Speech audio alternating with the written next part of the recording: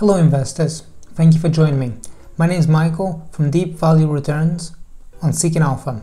Today I want to talk about the Trade Desk. The Trade Desk reported its Q3 results and the stock soared 30%. So gonna go through what investors should be thinking about, talk about its guidance, I'm gonna talk about how it operates in this cookieless world, and we're going to talk about CTV. That's the big news item. So yeah, I'm going to just jump right in if you don't mind. Uh, one of the things that's quite interesting is that going into this whole earning seasons, man, I felt that uh, it was going to be all the same, right? That ad tech companies were all reporting uh, Snap, Digital Turbine, Magnite, everything that was uh, reporting anything to do with either ad tech or generally the kind of overarching theme of privacy, how it was operating uh, in, in how, how companies were operating via the iOS changes it was all the same theme, right? So all these stocks were all just plummeting. The trade desk came out and the stocks soared. So everyone was kind of primed for bad news. So anything that would is going to come out that was not bad news, the stock was well positioned to, to just go up. And last month I actually said that um, uh, I said that the stock right now was pricing in a lot of pessimism and that paying 21 times forward sales isn't the bargain basement, but the high quality companies such as the simply don't go on sale for too long. I did not, to be clear, expect that it would jump 30% on the back of these results, but I did feel that the odds were favorable for investors.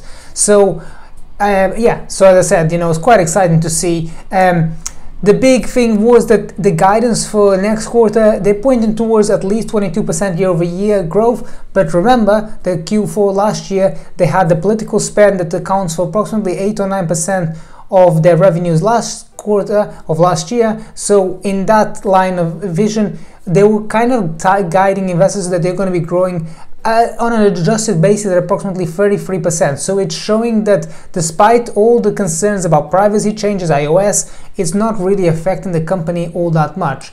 Um, one thing that I wanted to highlight is here. So you see this graph. So video I've put here includes CTV. Now, for all intents and purposes, they don't really give you this. This is kind of like what I try to take away from the earnings call going through.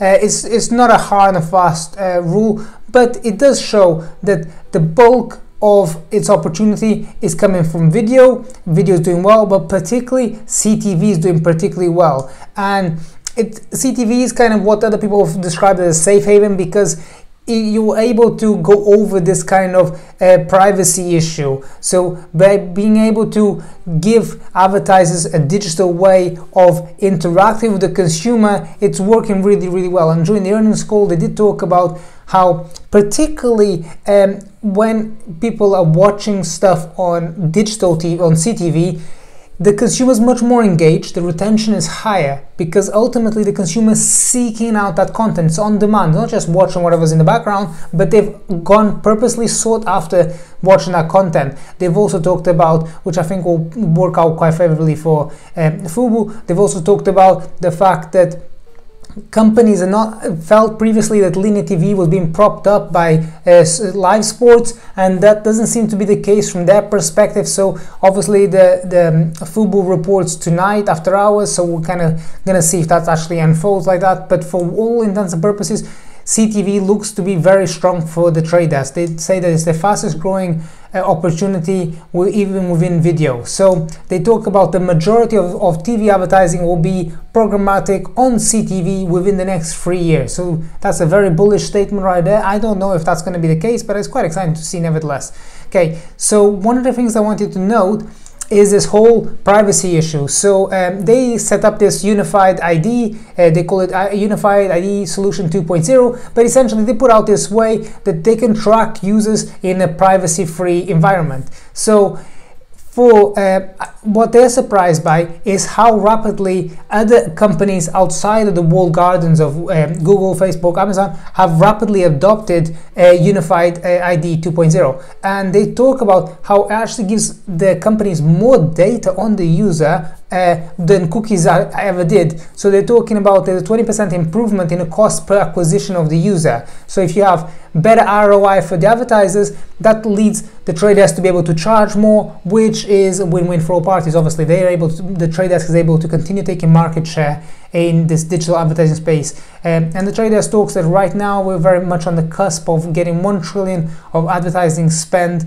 um, globally, and that they're still a, a, small player here, but it is, they have a lot of opportunity to continue driving forward the programmatic digital advertising space. So it's quite interesting. It's, it's a very interesting um, opportunity for investors. And I know, so people said to me, oh, Michael, 28 times forward sales is not that cheap. Well, I said to you last month, uh, pay 22 times forward sales, and last month everyone was saying it was too expensive. So now it's 28. Is it even more expensive? I don't think it is. So here's a few things to think about, right?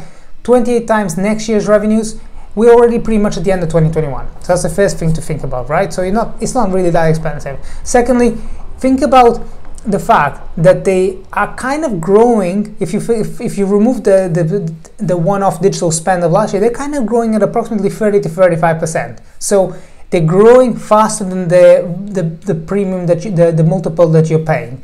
So with that in mind, I don't think it's that expensive. Next, Think about the fact that it has no debt, the highly free cash flow generative. The EBITDA margins were 41% in this quarter right now, but it's typically around 39 to 41%. So it means that it has such a, an ability to, from the top line of revenues, to drive forward that free cash flow. I think that's really, really exciting. And I don't think that investors are totally nuts. You know, it's a stock that has never really been that cheap. And I think there's good reasons for that. Um, so I don't own the Trade Desk. Uh, this is just for educational purposes. Uh, I do own Tremor, and I think the Tremor may do quite well. So this Thursday, Tremor is going to announce uh, their results. I think Tremor will do quite well because Tremor is particularly focused solely on video. Okay, so obviously within video there's mobile video and there's CTV that they're also exposed to but I think the Tremor may do quite well in, in, in their results for this quarter. We'll see how that comes out. But if you want to find out what kind of stocks I'm particularly interested in don't forget to check out my marketplace. It's called deep value returns. Check out what other people have said about my marketplace. Look at the reviews. That's always a good way to get started. And my marketplace is a place to help you become a better investor. Okay thank you so much and I'll see you next time. Bye